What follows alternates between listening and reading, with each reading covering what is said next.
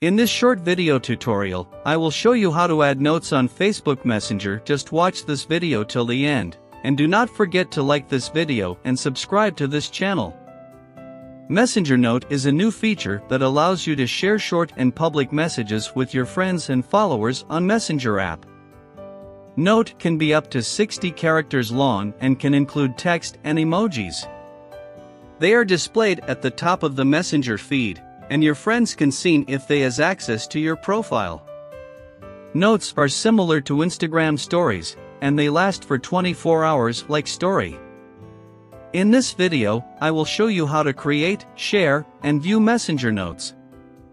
First, open the Messenger app and tap on your profile picture in the top left corner of the screen. You will see your note with profile picture.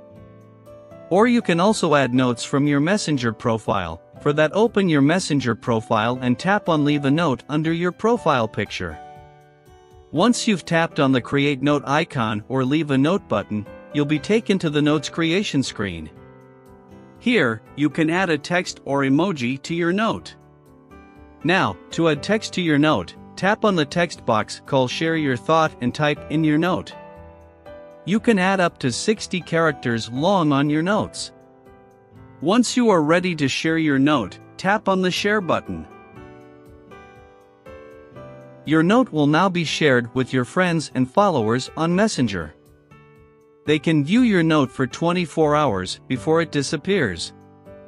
And you can also delete your note at any time. This is exactly how you can add notes on Messenger. Hope this video helped you. If so, please give it a thumbs up and subscribe to the channel. If you have any questions, feel free to leave them down in the comment box. Thank you for watching to the end, and see you in the next video.